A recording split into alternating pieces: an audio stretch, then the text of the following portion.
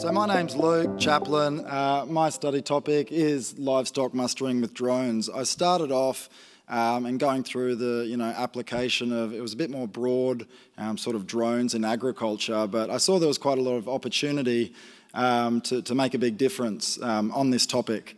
Um, and it's been a really big few years since I got the scholarship. I've now started a company. We have over 200,000 head of livestock being mustered by drones, um, by customers who have become confident and capable through our technology, training, and advice. Um, and I have a whole lot to thank um, Nuffield for, because, um, you know, back then I think they really saw the belief, maybe even possibly more than I did. Um, and from that, I think, you know, that belief and credibility um, attracted the support of Meat and Livestock Australia and the Queensland Department of Ag, um, who I continue to work with and I'm really grateful for. Um, but I say to Jody all the time, I think like getting the Nuffield really helped me, you know, get through the doors and, and that credibility.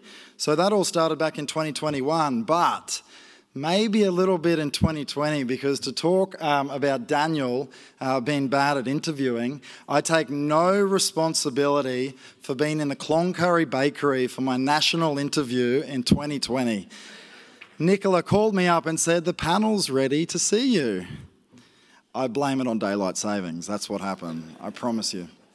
Um, so yeah, surprise, surprise, I did not get a Nuffield scholarship that year. I had no tie on, no jacket, and tried to make a bit of a joke of it.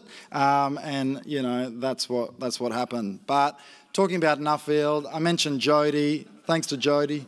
Um, and also to James Walker and Sonia Comiskey, the legend, there she is, um, who pushed me to, to go for it again.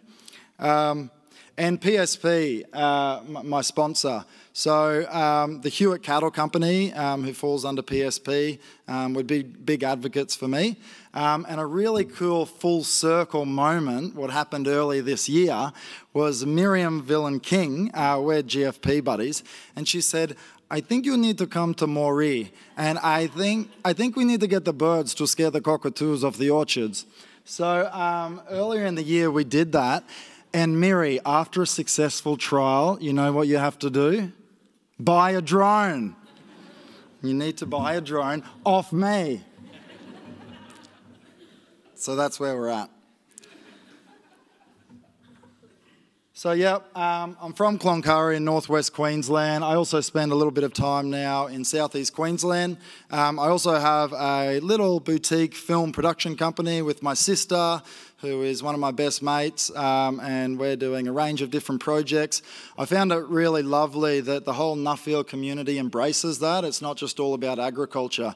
I think everyone, I've really felt the support about, you know, following your passion and, and what you're interested in. I think those skills as well have sort of, there's been a bit of a crossover. Um, so I'm really grateful for that. So there's three certainties in life for graziers death, taxes, and mustering your livestock. So, as a multi generational grazier myself, I was faced with the problem that traditional methods are becoming expensive, uh, inefficient at times, and unsafe. Uh, and I was also really sick of hearing this. Look, get off your horse. If you can't handle it, get on a bike. Those cattle across the river need to come in. Working with family, as you can imagine, can be quite difficult. So mustering um, is, and I believe, you know, will continue to be the key operational activity in the livestock sector. So aerial mustering as a solution has been extremely proven and effective since the 70s when skilled pilots returned from the Vietnam War. So we're looking at over 10 million head of livestock are mustered by choppers each year. Don't think that's going to go away anytime soon but there are starting to be some issues. We're looking at probably $600 hourly fees probably this year. Um, um, the operational flexibility, I guess, is limited. And between 2008 and 2017, 15 people died um, helicopter mustering in Australia. So, what's the next evolution of livestock mustering? Yes, you guessed it. Flying robots with GPS tracking, high resolution cameras, thermal imaging, noise disruption technology, all bundled in to a user friendly portable device ready to deploy at any time. But the big question is, and this is why I wanted to do a Nuffield scholarship, does it work? Do drones chasing livestock, does that work? So this was a core part of the research. And I must say, I am not the first person in Australia or in the world to chase livestock with drones. But what we did, and, and what I believe I did, was scope up quite a sophisticated, world leading um, trials um, where we conducted over 20 musters on a range of diverse terrain with sheep, cattle, and goats. And the key research question was what was possible at that time, 2022, under current um, and, and, the latest consumer technology under current regulations. Um, and this is a quick little video of the trials.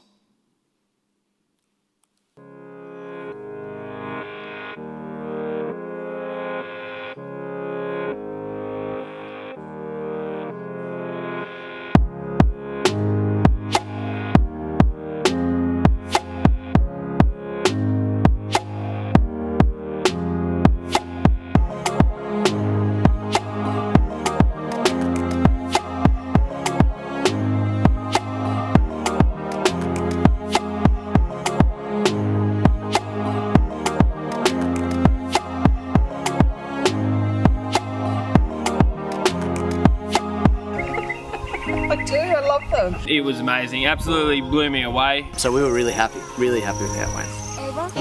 I see a little cow down there. It's cool because I like it flying around and because it's got the cool camera. Is that pneumatic free?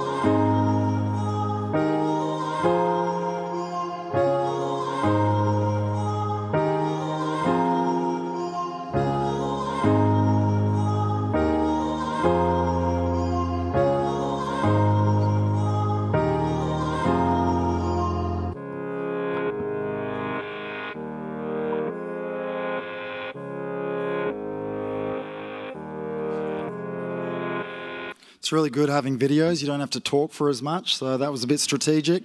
So, what did we find out? Um, huge cost saving. So, we had an independent economist um, calculate that uh, replacing a helicopter with a drone and a Northern Beef Enterprise has the potential to yield a 251% return on investment in a year.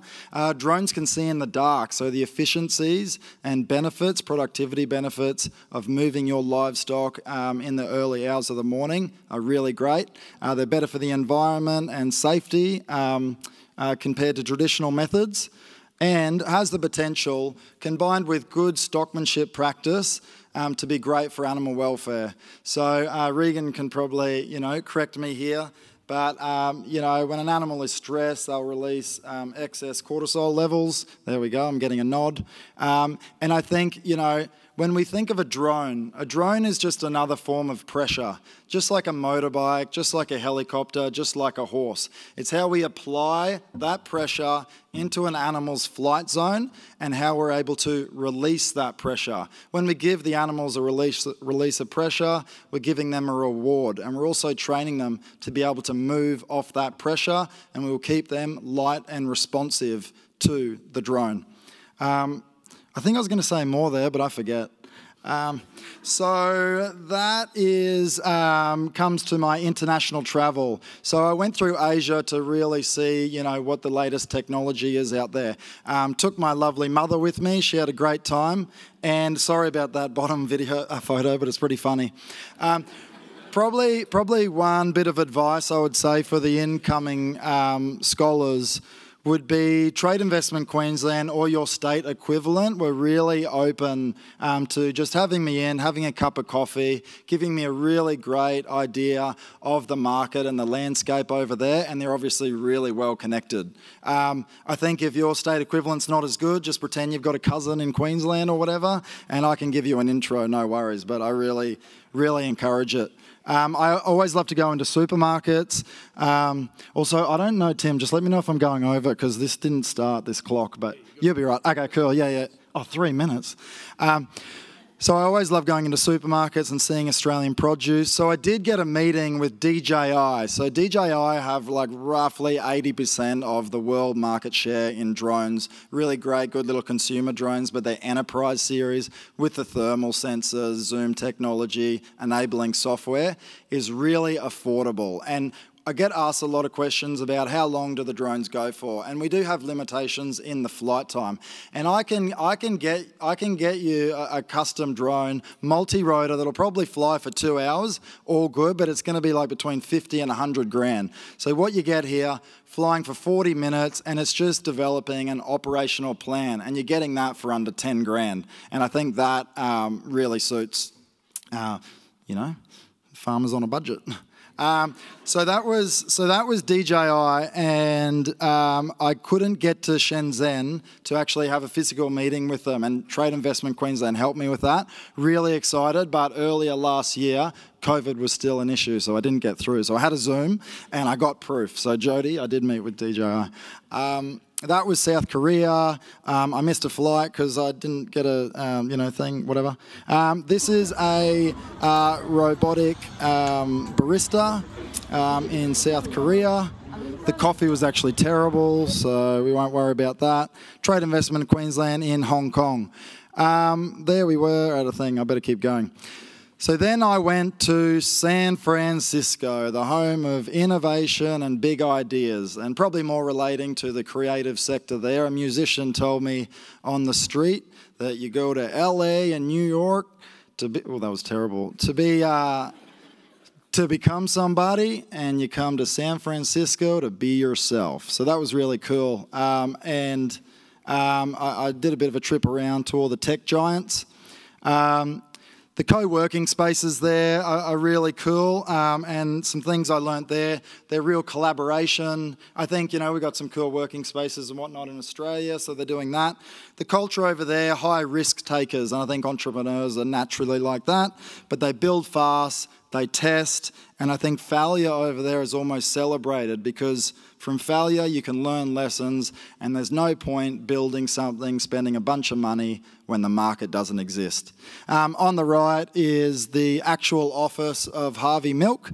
Um, and we were talking about advocacy earlier today, um, and I think some lessons could be learnt there. So that that bloke paid the ultimate sacrifice, but um, his legacy will will live forever. So I think that's pretty cool. So here I am in a ride share, and I got into just a bit of an argument with, with the driver. So, so how's your day going? Excuse me, I just said, How, how's your day doing, driver?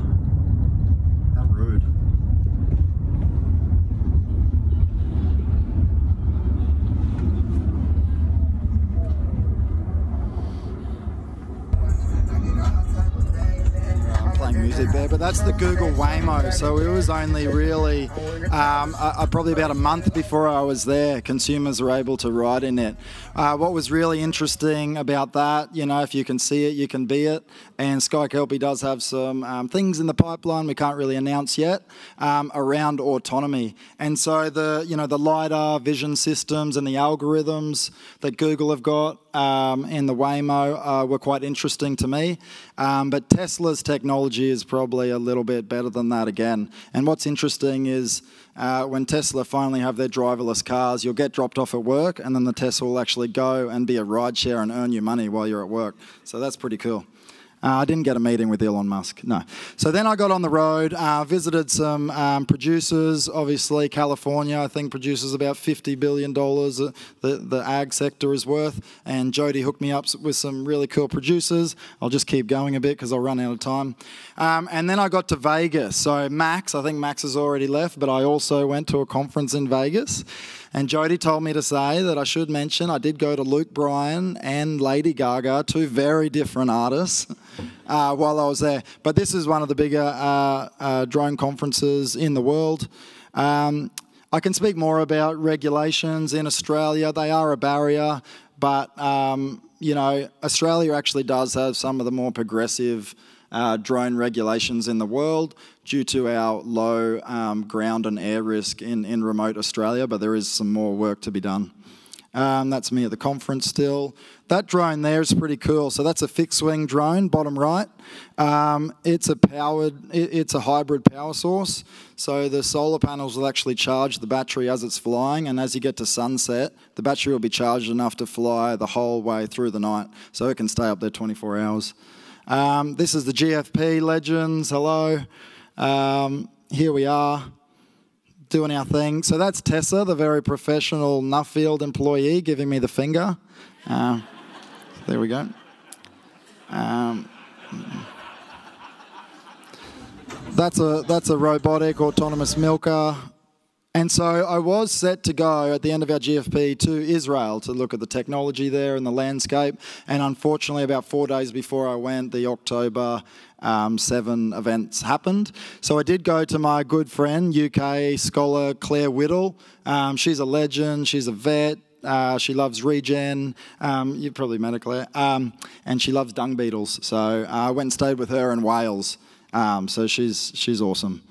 So yeah, just a quick bit. You know, we're already implementing our recommendations from the research, um, doing an online course, um, um, helping people get licensed. And a cool little thing we're doing is the Sky Kelpie Simulator, a virtual training playground where you can become an expert in drone mustering and aerial stockmanship. Um, big opportunities here. We love it. It's creative. I'm probably out of time, but um, this could be multi-purposed um, and we're really excited. So we continue to work with MLA, the Queensland government, um, and I just want to say Nuffield really was the launching pad for what I'm doing at the moment. Um, can't thank you enough and thanks for, oh yeah, actually one last thing, should I do it? So I was just going to get everyone quickly to stand up. Everyone stand up. We're almost there, almost beer time. It's all good. We're just going to count to three. One, two, three. Okay, we'll now sit down. Well done. And so I did actually just want to finish on a bit of a serious note. So, the time that it took for all of us to do that, you could have bought a drone off my website. So, thank you very much.